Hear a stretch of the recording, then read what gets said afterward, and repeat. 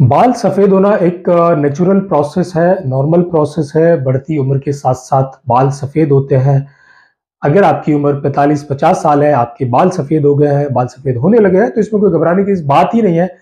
लेकिन अगर आपके बाल कम उम्र में, अभी आप 18-20 साल के ही हैं 30-35 साल की उम्र में ही आपके सर के बाल सफ़ेद हो गए हैं, आपकी दाढ़ी के बाल सफ़ेद होने लगे हैं, यहाँ तक ऐसा भी देखा गया आजकल तो दस बारह साल के बच्चों के भी बाल सफ़ेद दिखने लगे हैं।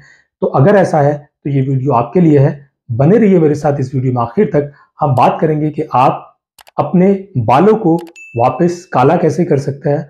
नेचुरली और इनको आगे फर्दर गिरने से कैसे रोक सकते हैं? और ये आगे और ज़्यादा सफ़ेद ना हो, उसके लिए आप क्या कर सकते हैं? तो मैं आपको यहाँ इसमें बताने वाला हूँ। आपको एक ऐसा नुस्खा या एक ऐसा तेल जो आप घर में बना लेंगे, कहीं दुकान दुकान पर जाने की ज़रूरत नहीं पड़ेगी, मगर आपने अगर इसको लगातार छह महीने इस्तेमाल कर लिया तो मैं गारंटी के साथ कह सकता हूँ कि आपके बाकी बाल जो तेज़ी से सफ़ेद हो रहे हैं, वो नहीं होंगे और जो बाल सफ़ेद हो गए वो भी वापस काले हो जाएँगे। बट हाँ अगर ये बढ़ती उम्र के बाल सफ़ेद हैं तो ये उस पर काम नहीं करेगा क्योंकि ये नेचुरल फेमिनोना है। तो आइए शुरुआत करते हैं। पहले जान लेते हैं कि इस तेल को बनाया कैसे जाए और आपको कौन कौन से इंग्रेडिएंट्स की ज़रूरत पड़ेगी। इसमें आपको सबसे पहले चाहिए होगा सरसों का तेल। कंडीशन यह है कि सरसों का तेल प्योर होना चाहिए और पीली सरसों का तेल होना चाहिए। आप इसको अगर वहाँ से लेते हैं जहाँ से प्योर तेल आपको मिल सकता है, जो बिना फिल्ट्रेशन का, बिना केमिकल यूज़ हुआ अगर ऑयल मिलता है तो ये बेस्ट है और यही फ़ायदा करेगा।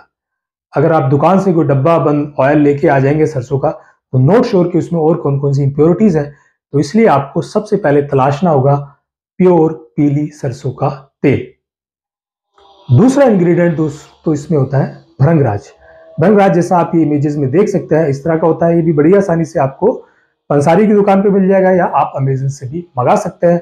ये एक सूखी इस तरह की बूटी होती है जो आप सामने देख पा रहे हैं। तीसरा जो इंग्रेडिएंट होता है दोस्तों, वो होता है जटामासी जटामासी इसके नाम से ही आप अगर देखेंगे, जटा बालों को भी कहते हैं और मासी काइंड ऑफ़ ह्यूमन तो जैसे आदमी जैसे बालों का स्ट्रक्चर भी आपका इसी से मिलता जुलता है। तीसरा आप ये एक इंग्रेडिएंट लेंगे। चौथा, आपको चाहिए मेथी दाना या मेथी के बीज।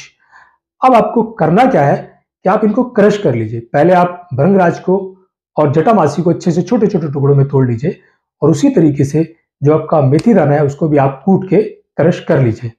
और जो नेक्स्ट इंग्रेडिएंट है वो होगा इसका आंवला, सूखे आंवले। उनको भी आप कूट के छोटे छोटे टुकड़ों में क्रश कर लीजिए। जब ये सारे इंग्रेडिएंट्स आपके पास आ जाएँगे तो अब आपको लेना है एक शीशे का जार, और उसके अंदर आपको मिला देना है करीब 250 सौ पीली सरसों का तेल। इसके अंदर आप डालेंगे करीब 25 ग्राम जटामासी 25 ग्राम रंगराज, और 30-30 ग्राम मेथी दाना, और 30 ग्राम करीब आंवले, जो सूखे आंवले हैं, जो आपने क्रश किए थे, इन सबको आप इसमें डाल देंगे। अब डालने के बाद आप इसको बंद कर दीजिए और इसको करीब हफ़्ता भर आप धूप में रखेंगे। सुखाएँगे, जैसे अचार बनाते हैं, उस तरीके से आप सुखाएँगे। अगर धूप आपके घर में नहीं आती है तो आप कहीं बालकनी वगैरह में भी बाहर रख सकते हैं, बट अगर डायरेक्ट सनलाइट पड़ेगी तो बहुत अच्छा है। उसके बाद आप इसको खोल देंगे हफ़्ते भर बाद और आपको लेना पड़ेगा एक लोहे का कढ़ाई। लोहे की कढ़ाई में आप इस तेल को पलट देंगे और जितने इंग्रेडिएंट्स हैं इन सबको वापस डाल देंगे। और आपको इसको चढ़ा देंगे आप धीमी आँच पे। बहुत तेज नहीं उबालना है। धीमे धीमे पकते पकते जब इसमें उबाल आने लगे तो आप आँच बंद कर देंगे। इसको उतारने के बाद, ठंडा करने के बाद, अब आप इस ऑयल को छान लेंगे। छानने के बाद ध्यान रखें कि इसको शीशे के बर्तन में, शीशे के मर्तबान में ही रखना है। किसी प्लास्टिक के या किसी दूसरे मेटल के बर्तन में इसको नहीं रखना है। अब ये ऑयल हो गया आपका रेडी इस ऑयल को रोज़ाना रात को सोते समय आप अपने बालों की जड़ों में मालिश करेंगे। हल्के हाथ से, बहुत तेज मालिश नहीं करनी है। और सुबह आप किसी भी फास्फेट फ्री शैम्पू से हर्बल शैम्पू से अपने बालों को धो लेंगे। ऑल्टरनेट डे पे भी ऐसा कर सकते हैं बट मैं सलाह दूँगा कि कम से कम पहले तीस दिन आप इसको लगातार लगाएँ। रात को लगाएँ, सुबह धो दे, दिन में कोई ज़रूरी नहीं है कि आप ऑफ़िस जाते हैं तो तेल लगा के जाएँगे।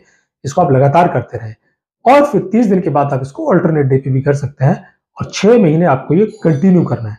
फिर आप देखेंगे कि आपके जो बाल है, वो काले होना शुरू हो गए और बाल गिरना भी बंद हो गए। ये बहुत ही अच्छा नुस्खा है, खास तौर से यंग एजेस लोगों के लिए, जिनके बाल बहुत तेज़ी से सफ़ेद हो रहे हैं। ये बालों की सफेदी को वापस कर देगा, फिर बाल काले हो जाएँगे और इवन प्रीमेच्योर गियरिंग को रोक के आपको अच्छे बाल अच्छा लुक देगा।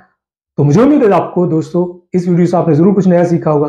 अगर वही, वाकई आपने इससे कुछ सीखा, ये जानकारी अच्छी लगी हो तो इस वीडियो को लाइक कर लें, दोस्तों को शेयर करें, चैनल पर पहली बार आए हैं तो सब्सक्राइब भी कर लें और बेल आइकन का बटन दबाना ना भूलें सो दैट इस तरह के इन्फॉर्मेटिव वीडियोज़ आपको मिलते रहे। थैंक यू धन्यवाद।